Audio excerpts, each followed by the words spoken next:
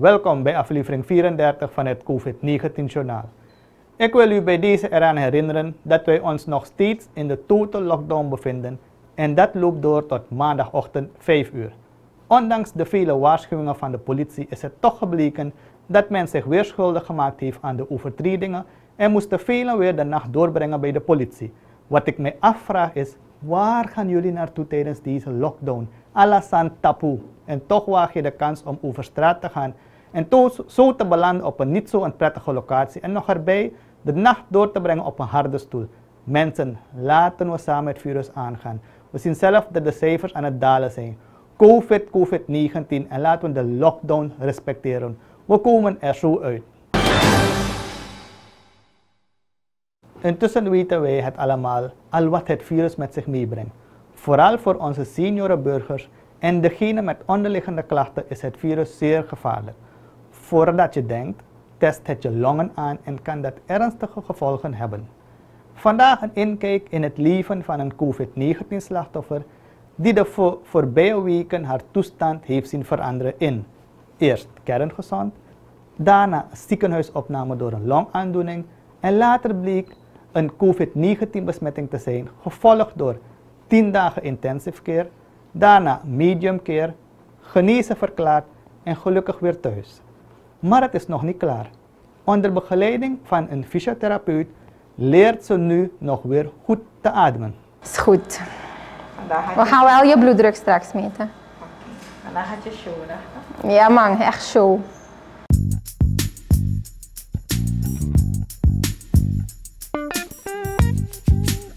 Zoals ik eerder aangaf, ben ik dus belast met het longrevalidatiegedeelte op het Sint-Vincentius ziekenhuis.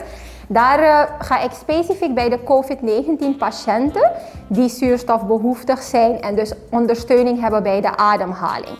Daarbij ga ik dus specifiek voor um, ademhalingstraining of adem, om ademhalingsoefeningen te geven om de longenfunctie of de ademhaling te verbeteren.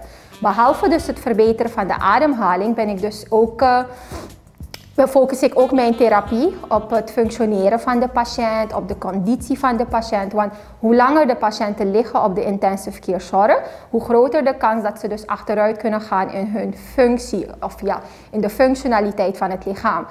Een gek voorbeeld, um, één lichtdag op de intensive care zorg kan ervoor zorgen dat je al, volgens wetenschappelijk onderzoek hoor, kan er al ervoor, kan al ervoor zorgen dat je dus 3% van jouw spiermassa of spierkracht kan verliezen. Dus je kan je voorstellen, hoe langer je ligt op de intensive care zorg, hoe langer jouw um, revalidatietraject gaat zijn en hoe groter de kans is op complicaties. Dus mijn voornaamste doel is om de patiënten die op de intensive care zorg liggen, om ze zo snel als mogelijk te activeren en dus te ontslaan van de intensive care zorg, zodat er geen complicaties ontstaan. Oké, probeer je ademhaling weer te controleren. Ja, ik begrijp, je bent een klein, klein beetje kortademig. Ja, dus laten we doen wat ik je geleerd heb. Je gaat diep inademen door de neus. Drie tellen diep inademen. 1, 2, 3. En rustig en langzaam uitblazen via de mond. Het is dus niet zo dat ik bij alle patiënten ga um, in het uh, ziekenhuis om uh, fysiotherapie te bieden. Het is dus een specifieke doelgroep die um, ondersteuning nodig heeft van de ademhaling. Dus de patiënten zijn dus niet in staat zonder zuurstofondersteuning of zonder ondersteuning van het beademingsapparaat om zelfstandig de longen voldoende te ventileren of om, om zelfstandig um, zuurstof op te nemen. Ja? Dus bij specifiek die patiënten die veel behoefte hebben aan ondersteuning van de ademhaling, bij die ga ik om ademhalingstechnieken te bieden om dus uh, de longfunctie te verbeteren. Wat merk ik bij de patiënten wanneer ik ze tref? Ik merk dus dat ze heel erg kortademig zijn. Ze zijn heel vermoeid en bij de kortste inspanning, en dan met kortste inspanning bedoel ik even draaien in bed, dan raken ze heel erg kortademig en dan gaan ze heel, heel snel beginnen te ademen. Dus dat is een mooi voorbeeld waarbij ik dus bij die patiënt ga en dan geef ik ze dus ademhalingstechnieken waarbij dus ze beter kunnen ademhalen en dus ook de zuurstofopname kan verbeteren. Ja? En um, in principe wil je dus niet hebben dat je patiënten terecht krijgt op de intensive care zorg. En het is ook niet zo dat iedereen die COVID besmet raakt ook terecht komt. Het is echt maar een klein groepje van 5%. Toch? de 80% ongeveer, als ik het goed heb, die herstelt wel. En die heeft maar um, weinig tot milde klachten. Maar soms kan het ook gebeuren dat je patiënten hebt die niet opgenomen zijn geworden in het ziekenhuis, ook niet opgenomen op de intensive care zorg, maar met de tijd wel vermoeidheidsklachten vertonen of een kortademigheidsklachten vertonen. Die kunnen zich ook aanmelden voor fysiotherapie. Wanneer ze ontslaan zijn, is het nog niet afgelopen. Ja? Dus dan kom ik nu in de revalidatiefase. Bij ontslag heb je dus vaak dat je conditioneringsproblemen hebt. Je hebt nog patiënten die kortademigheid uh, vertonen of bij de lichtste inspanning toch nog kortademigheidsklachten hebben.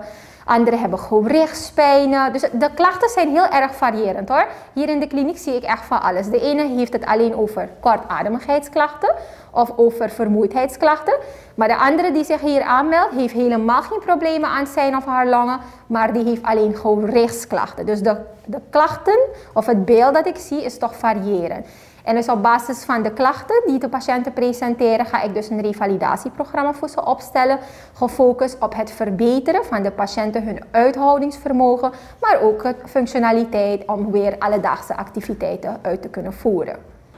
Op de loopbaan we vier uh, intervalblokjes gedaan.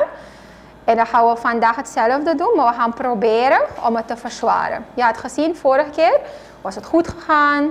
Je had geen vermoeidheidsklachten, geen kortademigheidsklachten. Dus we kunnen wel vandaag proberen om de intensiteit een beetje op te voeren.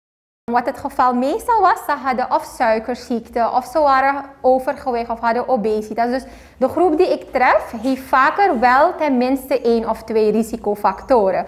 En dus we merken dat in aanwezigheid van overgewicht en hoge bloeddruk en, en of suikerziekte, dat um, die patiënten eerder opgenomen worden in de intensive care zorg en dat bij die patiënten het uh, genezingstraject of het revalidatietraject iets langer duurt dan normaal. Dus misschien gelijk een boodschap voor de kijkers, degenen die geen COVID-19 hebben, zoals ik aangaf, de mensen met hoge bloeddruk, de mensen met overgewicht of obesitas en of diabetes. Als je dus COVID-19 oploopt, is is de kans aanwezig of is er een iets grotere kans dat jouw hersteltraject iets langer eruit ziet dan een gezond persoon die helemaal geen risicofactor heeft. Dus die groep specifiek wil ik wel adviseren om zoveel als mogelijk een healthy lifestyle te hanteren. Gezond eten, voldoende fruit en groenten binnenkrijgen en ook dagelijks tenminste een half uurtje besteden aan bewegen. En natuurlijk ook voldoende slapen, niet proberen te stressen. Maar in general probeer echt een gezonde leefstijl te hanteren waarbij gezonde voeding en, gezond, en voldoende beweging aanwezig is. Gaat het goed? Ja? Oké, je voelt je nog niet vermoeid of, uh, of kort ademen? Kort ademen nog niet. Nog niet, oké. Wat mij opvalt um, uit de praktijk is dat uh, wanneer de patiënten in het ziekenhuis zijn en specifiek opgenomen zijn op de intensive care, dat zij heel snel een conditieprobleem ontwikkelen. Dus ze zijn zwaar gedeconditioneerd.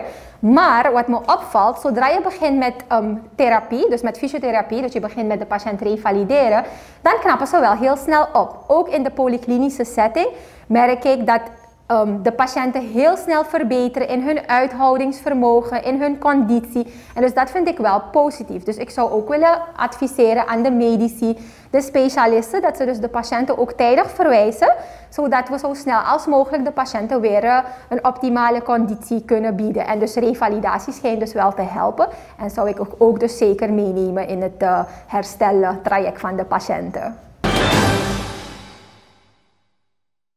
Opnieuw bleek dat het COVID-virus ons op allerlei manieren kan pakken en opnieuw bleek hoe belangrijk de rol van de medische specialist blijft tijdens dit COVID-19-proces, namelijk lichamelijk weer de oude worden.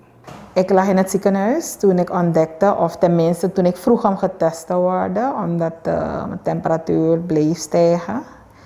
Ik lag al ongeveer vier dagen in het ziekenhuis. En toen vroeg ik van, uh, kan ik getest worden op COVID? Want mijn temperatuur bleef stijgen.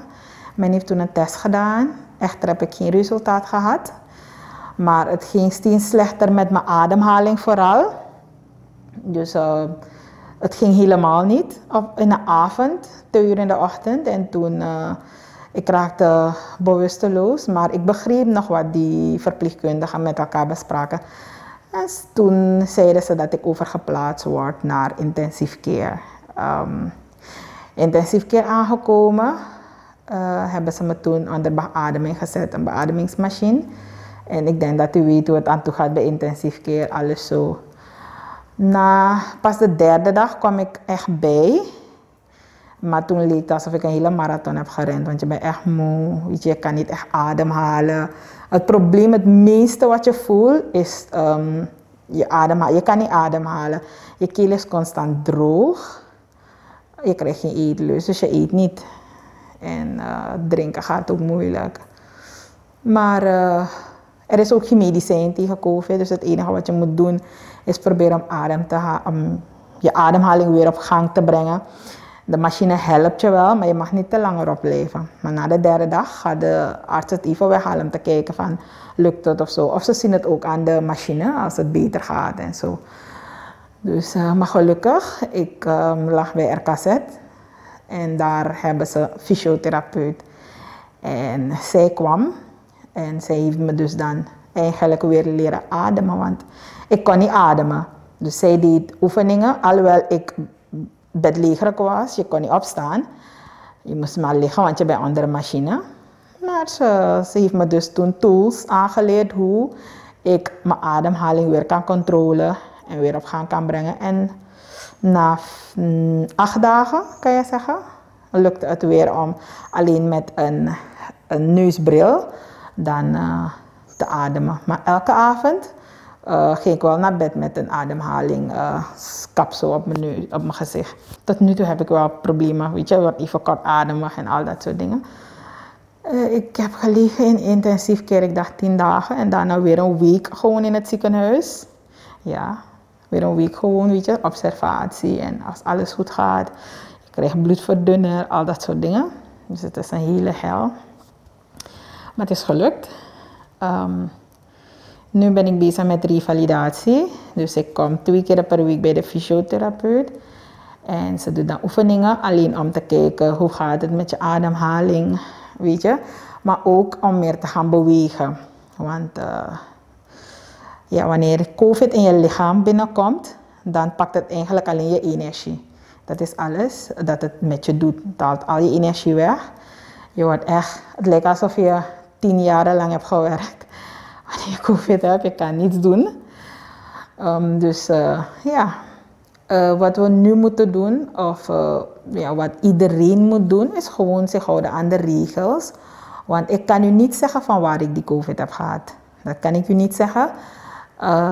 de mensen met wie ik heb bemoeid in de afgelopen tien dagen voordat ik in het ziekenhuis terecht kwam, die heb ik ook laten testen of gemeld.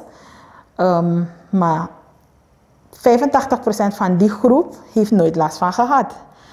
Um, dus eigenlijk echt van waar het komt kan ik je niet zeggen. Ik wil alleen doorgeven, COVID leeft in de samenleving. Het is er. Dus we moeten ons gewoon beschermen. Je mondkap op. Anderhalf meter tot twee meter afstand. Blijf thuis als je nergens moet gaan. Want ik heb ook wel meegemaakt waar mensen echt sterven. En waar er geen plek is bij de IC ziet uh, intensief keer. Dus het beste is gewoon je aan de regels houden en dan komt het allemaal wel goed. U heeft het allemaal zelf mogen horen. Laat dit u niet overkomen en houd u aan de COVID-19 maatregelen. Gisteren vond ook de launch plaats van de Mohana Challenge. Mohana staat voor mondkap op, handen wassen, afstand houden. Op deze manier kunnen wij ook op een creatieve manier elkaar herinneren aan de drie belangrijke maatregelen tegen COVID-19 besmetting. Mohanna, Mohanna, Mohanna, Mohanna. Mohanna, Mohanna, Mohanna, Mohanna.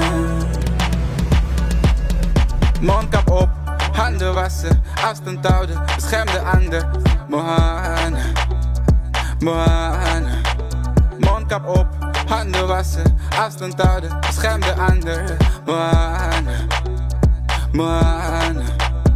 Reinig je handen op tijd, genoeg afstand houden. Niet te dichtbij als je bent verkouden. We kunnen de strijd aan door op elkaar te bouwen. En doen wat nodig is om uit te houden. Doen een egoïstisch, mondkap op. Voor even die feesten, dat komt toch nog. Laten wij eraan werken dat dit virus stopt, zodat we weer kunnen gaan naar de normale klok. Niet bang worden, voorzichtig zijn. Als we samenwerken, komen we er wel eruit. Hoe groot de strijd lijkt, we komen dichterbij. We moeten eenvijs vormen als maatschappij.